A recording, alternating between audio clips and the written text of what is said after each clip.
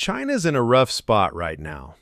They might be without any emergency launch capability to the Tiangong station for months, which means they basically have no quick response option if something else goes wrong up there.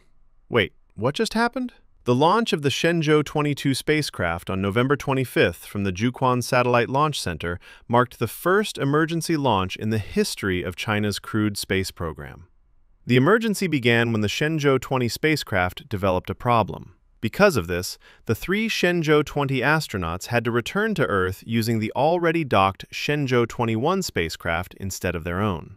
Earlier in November, the Shenzhou 21 crew had arrived at the Tiangong space station and completed a smooth handover with the Shenzhou 20 astronauts, who had been living in orbit for six months. Under normal plans, the Shenzhou 20 crew was supposed to return home on November 5th using their own spacecraft. But on that morning, China's Manned Space Engineering Office announced a delay after discovering what was suspected to be a space debris strike on one of Shenzhou 20's portholes. The window's outer glass layer had a crack more than 10 millimeters long, and it appeared to have been pierced. Ji Qiming, a spokesperson for the program, explained, From one corner, it looks like it has been pierced through, but as the spaceship is still in orbit, we can't see it with our own eyes. We may be able to observe it more closely after the Shenzhou 20 spacecraft returns. The spacecraft's porthole has a three-layer structure, with the outermost layer being a heat shield.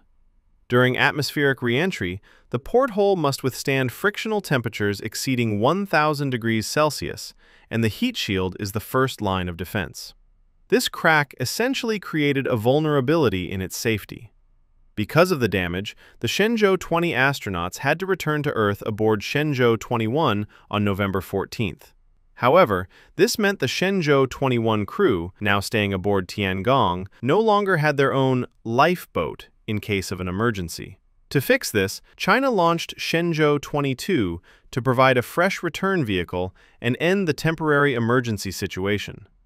Meanwhile, on December 1st, the China Manned Space Agency announced plans to bring the damaged Shenzhou 20 spacecraft back to Earth for inspection. The goal is to gather meaningful real-world experimental data for subsequent missions, according to state news agency Xinhua. A specific return date has not yet been announced. So, it might sound like the situation wrapped up neatly, right? Unfortunately, the story isn't quite over yet. Even though everything happened suddenly, China's space program actually had contingency plans in place. Since the Shenzhou 12 mission, China has used a one-for-one -one rolling backup system. This means that every time a crewed spacecraft is launched, a fully prepared backup spacecraft stays on the ground, ready to go just in case. If an emergency launch is needed, the backup vehicle switches from standby to emergency preparation. That's exactly what happened here. When the Shenzhou 20 issue occurred, Shenzhou 22, originally the backup for Shenzhou 21, was already sitting at the Jiuquan Satellite Launch Center. At that point, Mission Control's top priority was figuring out how to safely bring the Shenzhou 20 crew home. You might wonder, wasn't Shenzhou 21 unfamiliar to the Shenzhou 20 astronauts? Fortunately, China's crewed space program plans for this.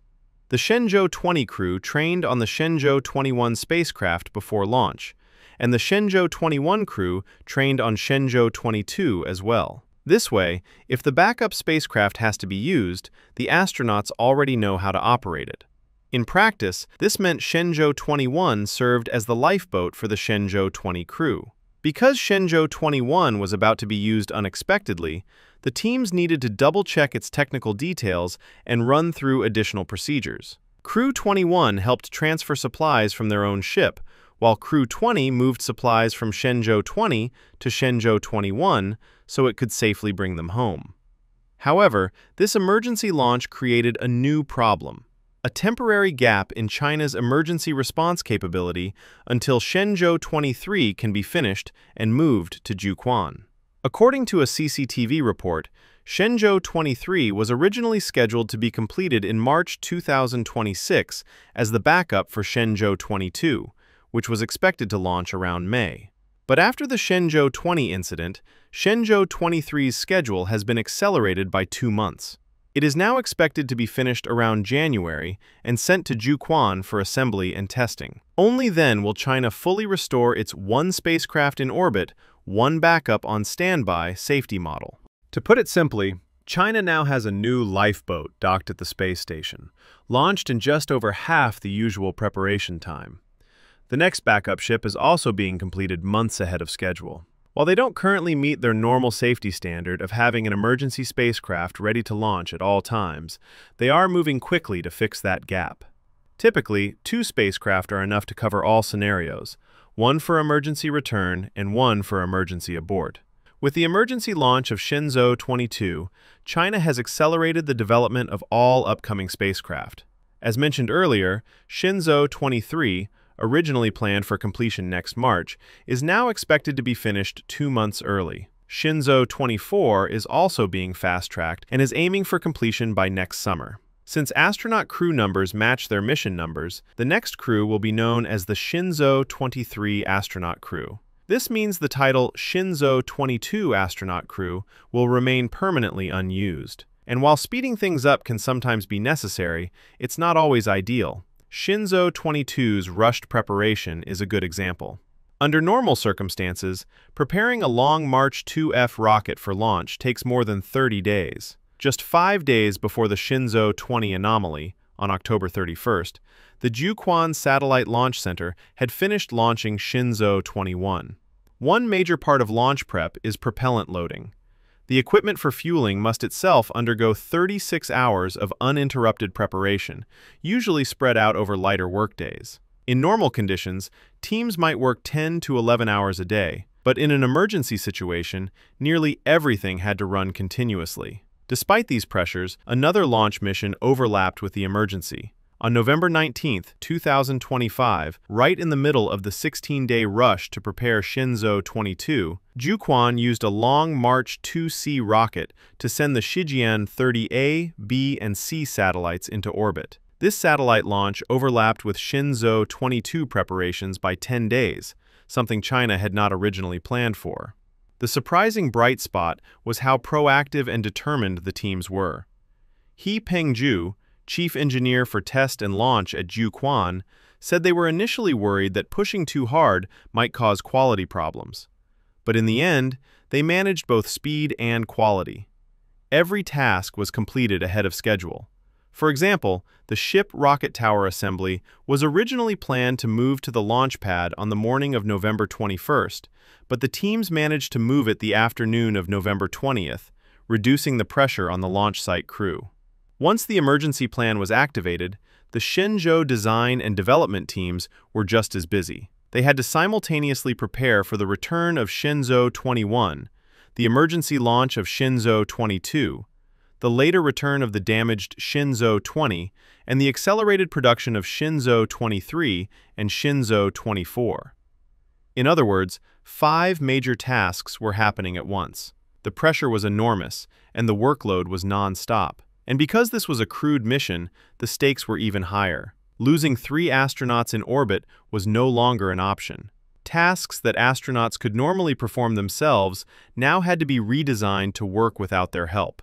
Some contingency procedures that relied on astronauts' operating systems directly were no longer viable. China had to update and improve many of its emergency plans to ensure the crew stayed safe throughout the process. In recent years, the amount of space debris in Earth's orbit has increased dramatically. This growing cloud of tiny, fast-moving fragments is becoming a serious threat to spacecraft, satellites, and even the safety of astronauts. Figuring out how to deal with this challenge and how to improve the protection of space vehicles has become a major problem that aerospace engineers around the world must urgently solve. In China's case, the initial assessment of the Shenzhou 20 damage suggests that the piece of debris that struck the spacecraft was extremely small, less than one millimeter across, but traveling at a very high speed. That's enough to crack a window in orbit. The return capsule adds another complication. Because it must withstand intense heat during re-entry, its exterior design can't include extra layers of protection or additional structures. This limits how much shielding can be added and makes debris protection even more difficult. What I'm really getting at is how little actual backup capability human spaceflight has right now. This isn't just a China thing. If you look around, nobody else is in a dramatically better position. Starliner doesn't keep a spare capsule on standby. Orion doesn't either. And even if it did, it only launches on SLS, which costs around $4 billion per flight and is tied up with a high-profile lunar mission that no one wants to delay. SpaceX is the only group that could plausibly maintain a ready backup because they actually have hardware, but if they were doing that, we'd definitely hear about it, and NASA would absolutely be paying for that service. At the moment, the only capsules flying frequent crew missions are Dragon and Soyuz. Soyuz technically has two vehicles docked to the ISS right now, but they don't have a fresh backup on the ground because their launch facilities are damaged. SpaceX, on the other hand, has five operational Dragons, with only one currently docked. So in theory, the other four could be used to reach the ISS and serve as emergency backups for both the Dragon crew and the Soyuz crew.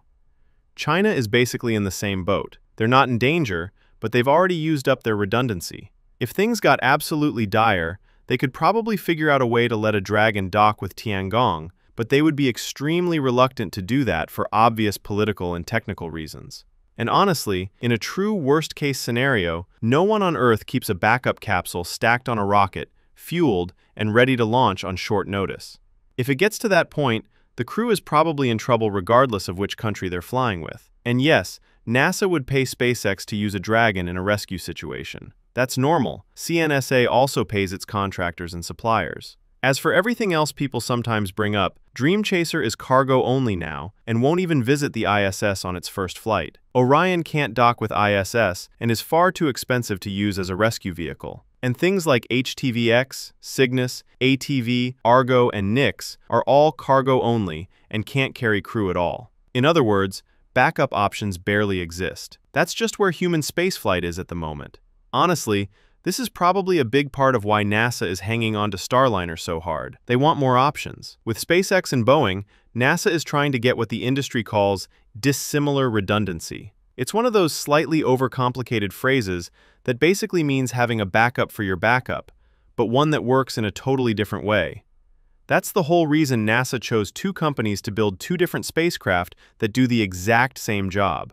Human spaceflight is insanely complex. You're dealing with machines, software, delicate mechanisms, and literal fire-breathing engines, all of which have to sync perfectly if you want people to stay alive in space. One tiny component going wrong can be enough to set off a chain reaction that wipes out an entire vehicle. That's why spacecraft already have lots of built-in redundancy, backup systems meant to take over if a primary system fails. But dissimilar redundancy is a step beyond that. It's not just having extra versions of the same thing, it's having something different in case there's a flaw in the design itself. Regular redundancy is like having a spare tire in your trunk. Dissimilar redundancy is like also strapping a bicycle to the roof. So even if every tire on the car turns out to be defective, you still have another way to get where you're going.